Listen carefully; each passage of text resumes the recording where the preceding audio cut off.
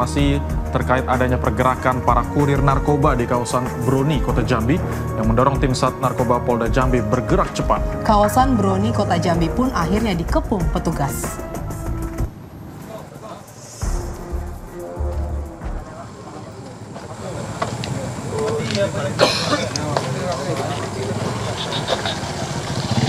Tim Sat Narkoba Polda Jambi memeriksa satu persatu sepeda motor yang melewati kawasan Broni Jambi.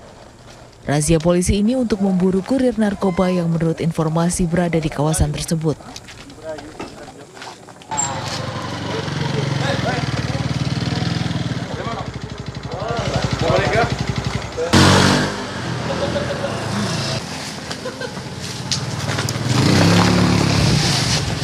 Perburuan polisi akhirnya membuahkan hasil. Lima pemuda yang mengendarai sepeda motor dengan gerak-gerik yang mencurigakan akhirnya disergap petugas.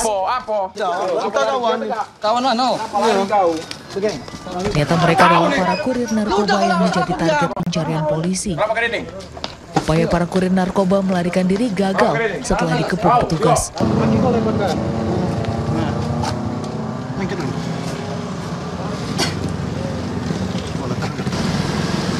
Usai ditangkap, para kurir narkoba dibawa ke Mapolda Jambi guna pemeriksaan lebih lanjut.